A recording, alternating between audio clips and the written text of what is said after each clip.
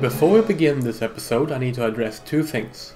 First off, I would like to issue some corrections to errors I made in the previous two episodes, namely misidentifying a few productions. The older run of Elizabeth that I labeled as the 1998 Hanagumi performance is actually the 1997 Hoshigumi performance. I was well aware of this, and I'm not entirely sure how this error was made. Similarly, I said that the Yukigumi Don Juan was from 2006, when it is in fact from 2016. This was simply a typo. Obviously, it wouldn't have had Diamond in the lead role otherwise. I made a large error last episode with 1789 for which I used footage from the Toho production, not the Takarazuka production.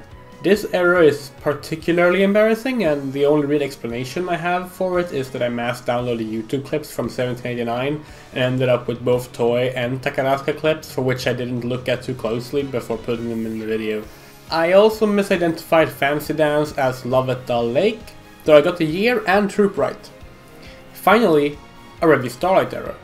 I said that the first episode talks about the ideal height difference between men and women. However, said conversation is actually held in chapter 4 of the prequel manga, Revue Starlight Overture. It's right here. I'm sorry about these errors and I would like to thank those who pointed them out and for being kind when doing so. I will try to double check things like this better moving forward. On to the second matter, namely a content warning. This episode will be dealing with the subject of homosexuality within Takarazuka and Japan as a whole, which unfortunately means we will be talking about suicide.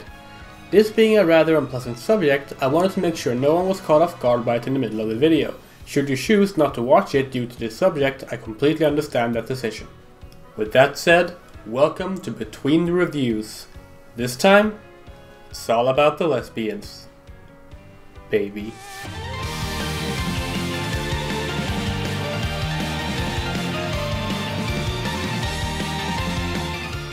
Last episode I briefly mentioned that it was important for Revue Starlight to feature a cast of women who all still present as women on stage, rather than falling into an Otokoyaku and Musumeyaku split due to Takarazuka's social politics. So let's have a closer look at said politics, in particular how the company views female homosexuality.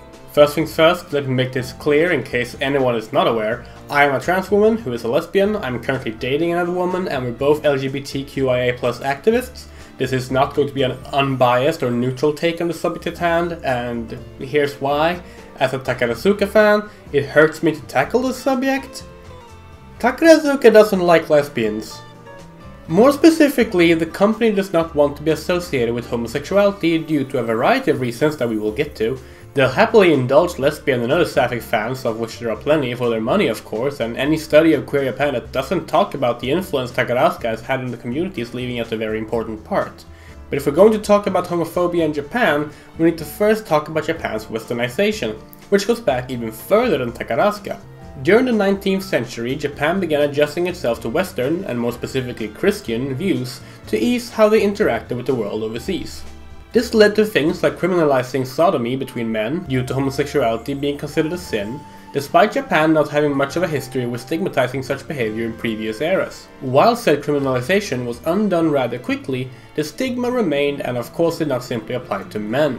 At the turn of the 20th century, Japanese schoolgirls began learning more about sexuality and romance than they had before due to imported and translated Western literature. As a result, a lot of girls began to discover their attraction to other girls, which led to an increase in girl-girl couples in Japan's all-girl schools. While textbooks promoting such developments were quickly banned from schools, the behavior itself continued, leading to activists and authors like Yoshiya Nobuko, herself a lesbian, laying the groundwork for today's girls' love or yuri genre of fiction. The behavior itself, which often seems to be a phase for many girls who didn't look to women after graduation, would later come to be labeled Class S. And this is where Takarazuka comes into the picture. Just like the schoolgirls discovering their attraction to other girls at school, women in the audience at Takarazuka shows began realizing their attraction to women from seeing them presented as romantic on stage.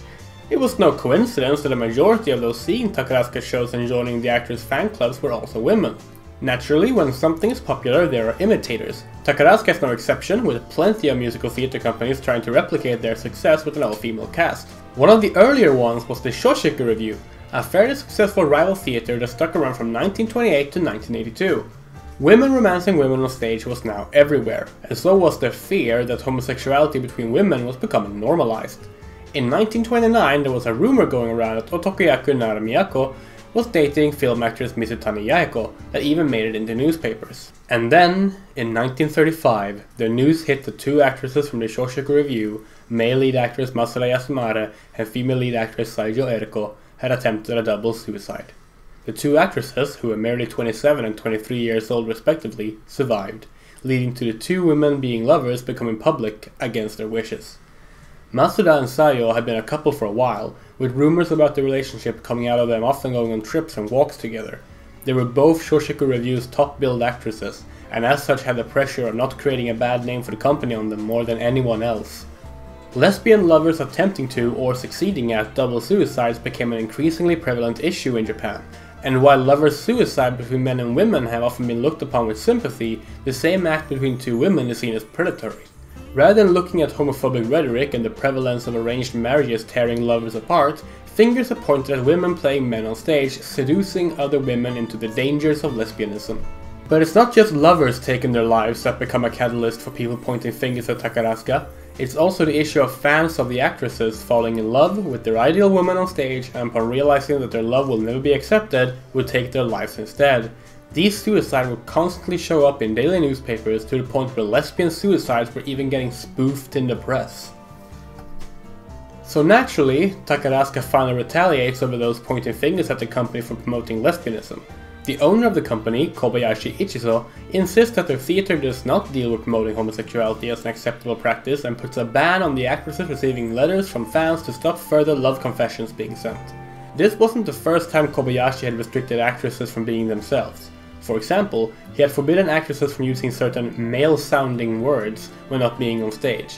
When Ashihara Kuniko's fans started referring to her as Aniki, the Japanese word for an older brother or older man one respects. Kobayashi had Ashihara pen a letter to her fans telling them to not use such language and that she, like all the other actresses, were properly ladylike in her time off. Actresses are also, at this time, required to be virgins and not date during their employment. Suffice to say, Takarazuka wanted to have full control of their actresses' lives.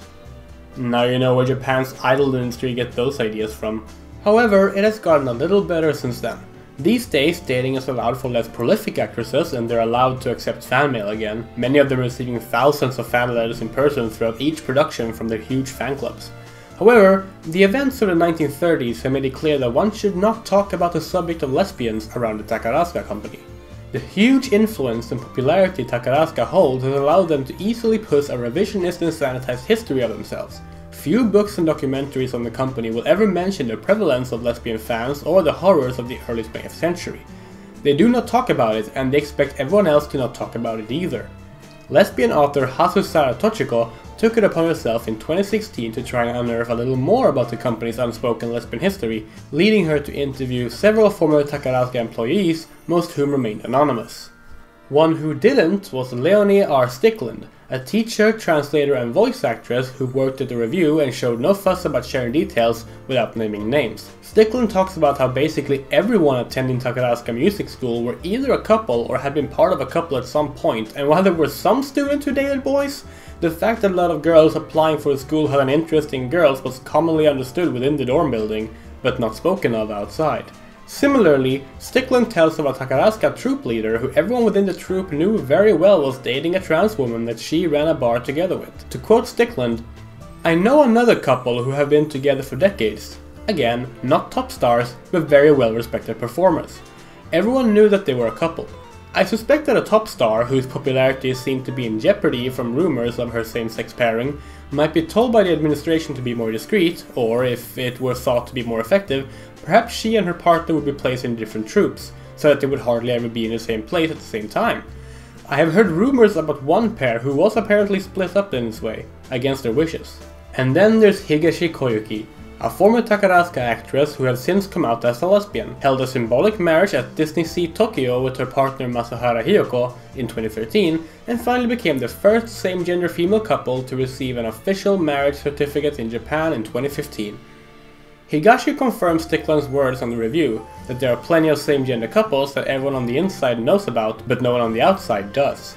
She explains that she knew she was a lesbian in early high school, but felt she couldn't tell anyone as it was just not acceptable and at the time she had only ever met one other person who shared her sexuality. Suhara adds that upon Higashi coming out as a lesbian after her retirement, more complications arose, as some fans expressed concern about her coming out due to it possibly reflecting upon the sexuality of her fans. And that's the basic summary of Takarazuka's century-long history with lesbianism. It's prevalent everywhere in the company, but it never become known of as the company's stance on the matter is that it in no way has ties to it whatsoever.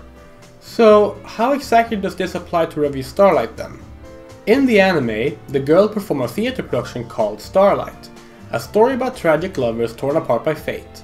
However, as mentioned before, all the girls play female roles, goddesses to be precise.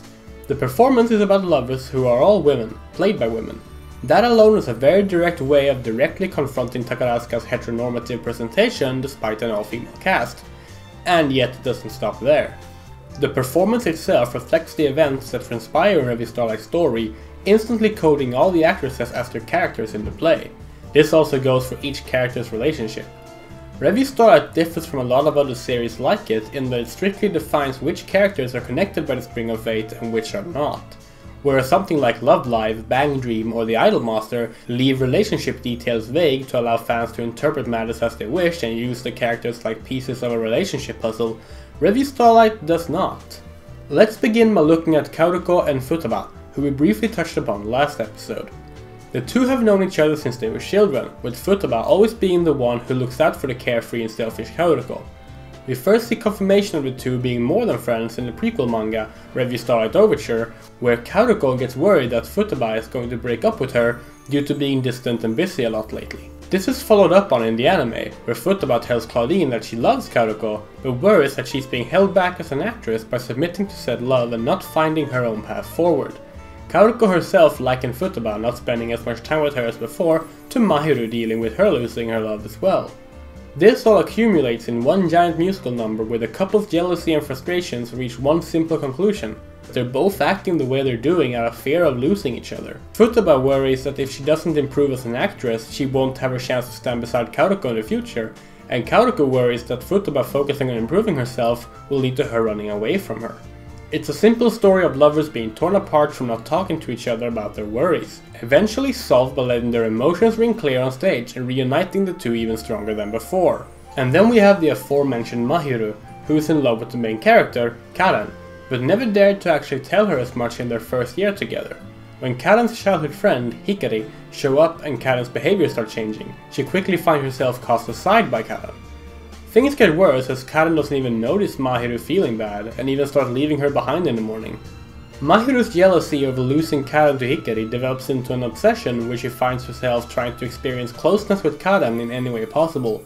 She sniffs her pillow, she tries to feel the sweat on her towel, and even tries to get an indirect kiss from her water bottle. Finally, she lashes out at Hikari for stealing Karen. And if it wasn't clear enough that Mahiru's feelings for Karen were romantic love and not just a very deep friendship, her feelings are literally spelled out using the kanji for romantic love, koi. There is no room for interpretation here. There's more to Mahiru's frustration than just losing the girl she loves. She also feels inadequate to the other students and it's through Karen's reassurance that she shines that she begins to heal her worries. With her confidence restored, she declares that she still loves Karen, but needs to be assertive and not hide who she is anymore. Again, we have a fairly simple triangle drama solved by conversation. Mahiru, Karen, and Hikari live together and begin to get along all three instead of finding conflict in their relationship. Even if Karen were to not answer Mahiru's romantic feelings, she's able to move forward thanks to her newly found confidence. Karen and Hikari are themselves a second take on childhood friend couples, with the two of them promising to reach their starlight together as kids, and Hikari then leaving for London for the next five years. Upon her return, Hikari acts cold towards Karen until they're able to restate their promise again. In the narrative, Karen and Hikari serves as an analogy of Claire and Flora, the main characters of the play Starlight. Fated lovers who were torn apart overcame all odds to reach their star only for one of them to be cast down in the end. Of course, the goal Karen has is to stop this tragic ending by letting everyone shine, a tragic love story turned happy should she succeed. The two remaining duos are Maya and Claudine as well as Nana and Junna, both sharing couple coding as well.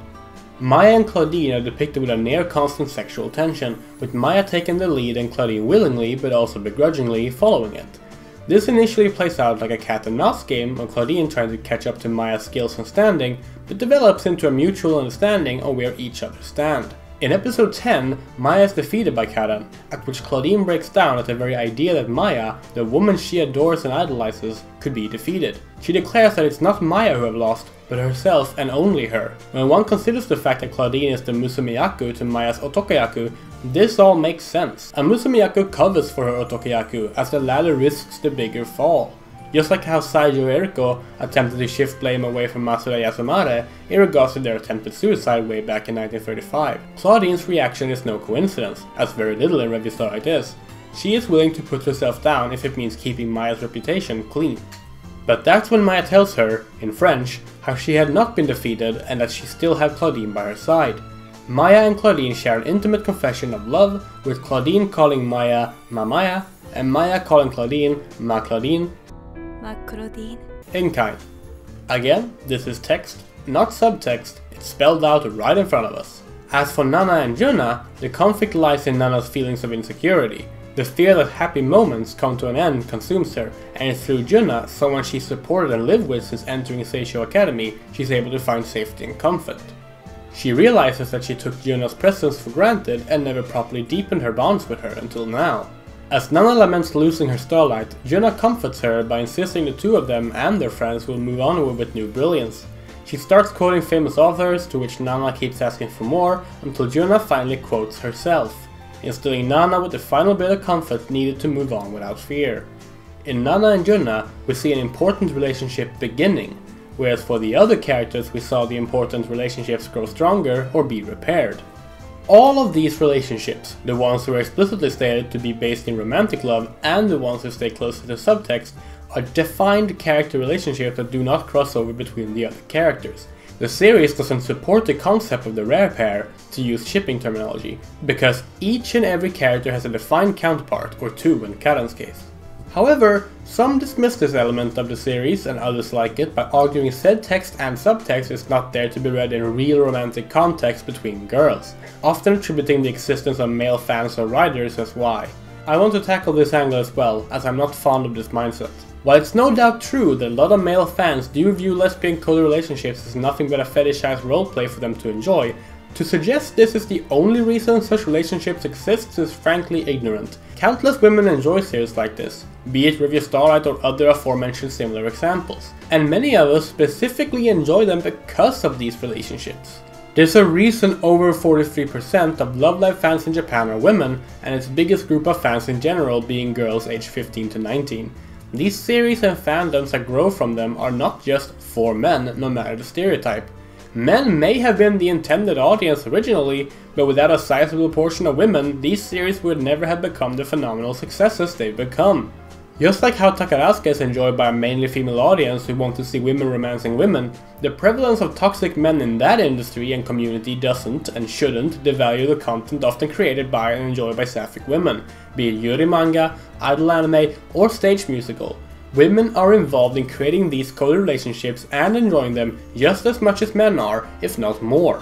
It's true that Revue Starlight's anime is directed by a man, Ikuhara's protege Furukawa Tomohiro, but to simply suggest that means the relationships in this series are created by men is to ignore writers Kaori Miura and Nakamura Kanata, who between each other have written the original stage musical, the manga, and all the songs for the project, and director Kodama Akiko, who directed the stage musical.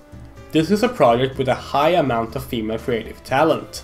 Bushiroad hasn't been shy about supporting LGBTQIA people either. Their wrestling outlet, New Japan, features the openly bisexual man Kenny Omega as a top-billed wrestler. Revue Starlight has trans woman Sonoda Reo as part of its main cast on stage, and while I do not wish to risk putting unwanted labels on any voice actors involved with the project, more than one of the leading nine ladies have expressed that they are attracted to women in interviews. I bring all of this up because after a century of horrific homophobia within Japan's musical theater scene leading to suicide and being cast out of society should you admit to being a woman attracted to women, Revue thought does something very important, but not only depicting women romancing women on stage while playing women, but to have them all be romantically coded off stage as well. In Revue Starlight, being a woman romantically involved with a woman does not have to lead to harm. All of them are offered a chance at ending a cycle of despair in favor of a happy ending. That's why it's so vital that all 9 girls were lesbian coded from the very start. And to me, that's the kind of positive representation that instills me with hope. And whether you personally consider it to be a good representation or not, it's still a very important message to put out there after how long actresses and fans have been ostracized for this very thing. I would like to end this video a bit differently by highlighting a book I've been reading, Takarazuka, Sexual Politics and Popular Culture in Modern Japan by Jennifer Robertson. The book chronicles a lot of what I've talked about today and more, with further sources from Japanese authors translated and contextualized. If you're interested in the subject we talked about today, I highly recommend reading the book itself. I don't have a copy of the book to show you because I read it digitally. Anyway, I hope now you understand why it's important for Revue Starlight to depict these actresses in a different light than Takarazuka. Now, next episode, we're going to talk about